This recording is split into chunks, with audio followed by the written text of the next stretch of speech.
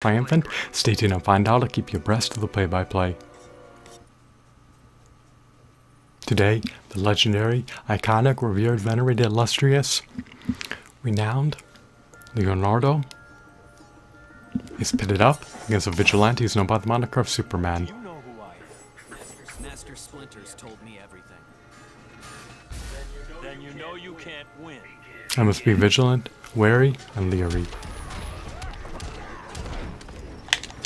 I cannot delude myself to think that, that I have a modicum of a chance to prevail against Superman.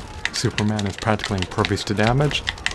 Can I ward him off? Can I stave him off? Can I keep him at bay? Can I fend him off? No. Will he render Leonardo a cadaver, a decedent, and a carcass?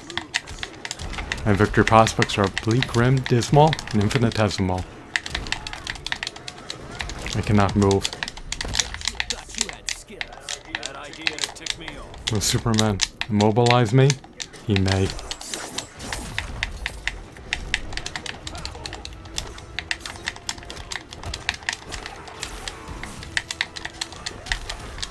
Is Leonardo receiving the thrashing of his life? Superman He could not mitigate against the umbrella wrath of Superman?